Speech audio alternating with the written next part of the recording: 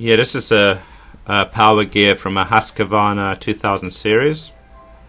Uh, pretty much if you grasp it, this, this little wheel on your right hand side of your machine and pull it outwards, the machine will sew only a fifth of the usual speed, still preserving your full power of your motor.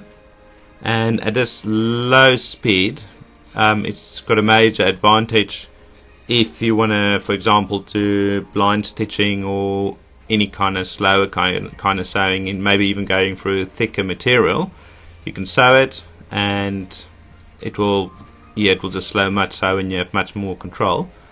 I can just turn it to the side and show you how it actually works. So if you pull it out, this gear will engage, disengage, and this will run freely, and your machine belt will actually drive the machine from there giving it much more speed.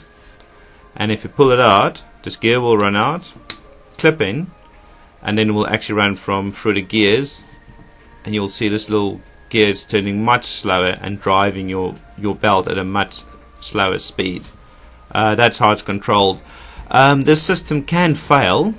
Um, what I've noticed in the past, what happens over time, this little shaft can get dry and when you pull this back it won't slip back in again.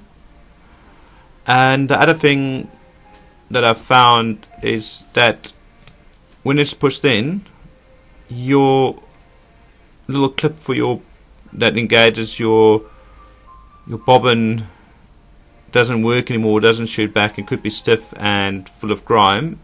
And then it just when it's locked in locked in like that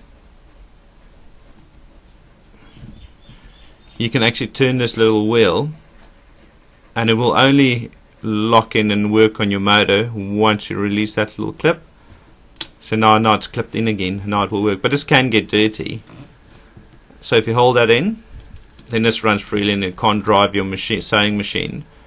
So this can get sticky so it just needs a good clean. Um, normally you can just you know work a little bit of oil in from this side uh, because obviously you won't open your machine but sometimes you might just have to really really get in there. And the same will go for this little gear that slides in and out. Oops too much oil. Uh, so you can give it some oil. Uh, yeah just give it a good clean. And that's okay if you pull it out and that should just clip in much easier. And then that's how you, how how you the, the little mechanism works